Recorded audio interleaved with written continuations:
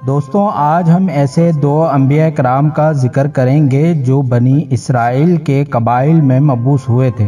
अलबत्ता इन अम्बिया कराम के बारे में तारीख में तफसीलात बहुत कम हैं और इनके बारे में तारीख हमें ज़्यादा मालूम फराहम नहीं करती।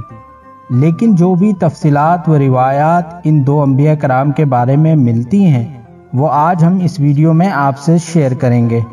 दोस्तों, हज़रत हिंदुआ और हज़रत रम्मान, दो ऐसे अम्बिया हैं जिनका ज़िक्र बनी इसराइल की तारीख में हमें मिलता है। अम्बियाओं का सिलसिला बनी तारीख में एक अहम हैसियत रखता है। अलबत्ता हज़रत हिंदुआ और हज़रत रम्मान के बारे में ज़्यादा तफसीलात व रिवायत नहीं मिलती, जितनी दीगर अम्बिया कराम के बारे में मिलती हैं। इस वजह से इन्हें गुमशुदा अम्बिया या नामालूम अम्बिया के नाम से भी याद किया जाता है। जैसे कि आपको इल्म होगा कि बनी इसराइल को अल्लाह ने मुख्तलिफ़ अदवार में अम्बिया कराम के सिलसिलों के ज़रिए हिदायत दी और तमाम अम्बिया कराम बनी इसराइल की रूहानी और समाजी असलाह के लिए बेचे गए थे और उन्होंने बनी इसराइल को अल्लाह की तरफ़ बुलाने में अहम किरदार अदा किया। हज़रत हिंदुआ और हज़रत रम्मान का ज़िक्र बाज तारीखी रिवायत में आता है, लेकिन इनकी जिंदगियों, हालात वाक़ात और दावत के बारे में बहुत महदूद मालूम दस्तियाब हैं। हज़रत हिंदुआ और हज़रत रम्मान का ज़माना तारीख में हज़रत इलियास के ज़माने का था। और बाज़ उल्मा कहते हैं कि ये दोनों अम्बिया कराम हज़रत इलियास सलाम से कबल आए थे। लेकिन तोरात और इंजील इन दोनों में इन अम्बिया कराम का ज़िक्र मौजूद नहीं। जिस तरह कुरान में दीगर अम्बिया कराम का ज़िक्र या तमाम अम्बिया कराम का ज़िक्र हमें नहीं मिलता।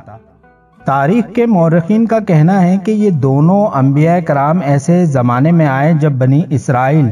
अल्लाह की नाफरमानी और शिरक में मुबतला हो चुके थे।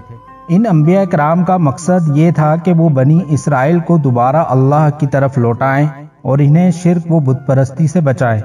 हज़रत हिंदुआ और हज़रत रमान के बारे में तारीख के मौरखीन ये कहते हैं कि इन दोनों अम्बिया कराम की मालूम कम होने की वजह ये हो सकती है कि बनी इसराइल ने बाज अम्बिया को कबूल नहीं किया या इनकी तालीमत को मुकम्मल तौर पर महफूज नहीं रखा और बहुत से अम्बिया कराम को कत्ल किया या इनकी दावत को यकसर नज़रअंदाज किया।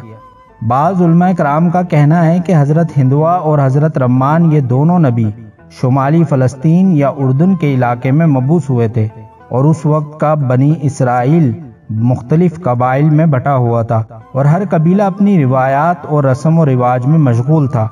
इन दोनों अम्बिया कराम की दावत का मौजू, तोहीद, अदल और बनी इसराइल की रूहानी व समाजी असलाह था और उन्होंने इन बनी इसराइलियों को अल्लाह की तरफ़ बुलाने की कोशिश की। लेकिन बनी इसराइल का रवैया इन दोनों अम्बिया कराम के साथ भी वैसा ही रहा जैसा कि दीगर अम्बिया कराम के साथ था। लेकिन इन दोनों अम्बिया कराम की तालीमत का असर बनी इसराइल के एक महदूद गुरु पर ज़रूर हुआ होगा।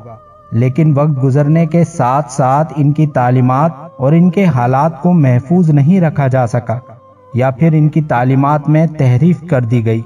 दोस्तों, हज़रत हिंदुआ और हज़रत रम्मान का ज़िक्र बनी इसराइल की अमूमी तारीख में कम ही मिलता है, लेकिन इनकी दावत व तालीमत दीगर अम्बिया कराम की तालीमत से मुख्तलिफ़ नहीं थी।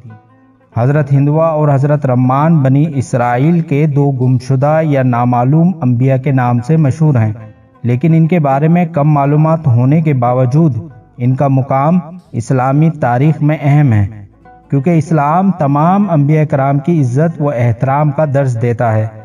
और इस्लामी तारीख में तमाम अम्बिया कराम को कदर की निगाह से देखा, समझा और जाना जाता है। क्योंकि इस्लाम की तालीमत में है कि अल्लाह ने हर कौम और हर कबीले में अपने अम्बिया भेजे। और इन तमाम अम्बिया का पैगाम हमेशा एक ही रहा, यानी तोहीद और अल्लाह की इबादत। हज़रत रम्मान और हज़रत हिंदुआ इन ही एक लाख चौबीस हज़ार पैगम्बरों में से थे जिन्होंने यकीनन अपनी ज़िंदगी दावत हक के लिए वफ कर दी थी। दोस्तों, उम्मीद करते हैं कि हमारी ये वीडियो आपको पसंद आई होगी। हमारी ये वीडियो आपको पसंद आई तो इसे लाइक कर दीजिए और अपने दोस्तों और अहबाबों में ज़रूर शेयर कीजिए।